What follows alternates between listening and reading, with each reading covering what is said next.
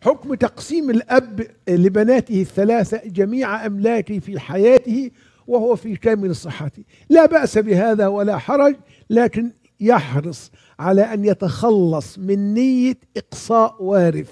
يعني واحد ليس عنده ولد عنده بنات وعنده أخ فلا يريد أن يصل ميراثه لأخيه بعد موته. فيقسم الأموال بين بناته في حياته في صحته القرار قراره. لكن في باب الديانة بينه وبين الله عز وجل ينبغي أن يتخلص من هذه النية نية إخراج وارث وإقصاء وارث. فقد نهى النبي صلى الله عليه وسلم عن إدخال وارث أو إخراج وارث. فإن الله قد أعطى كل ذي حق حقه وإن الله قد قسم فعدل جل جلاله. وبهذه المناسبة أفرق بين العطية والوصية. صاحبنا هنا يسأل عن العطية والعطية في حال الحياة صحيحة بشرط أن تحاز.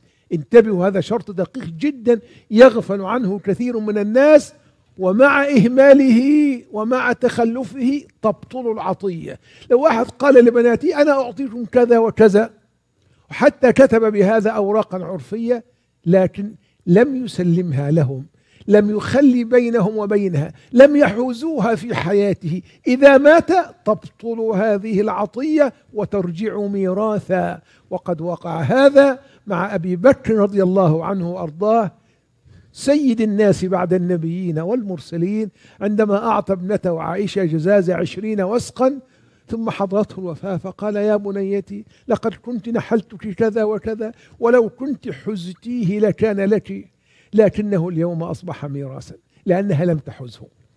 فهذا في باب العطية.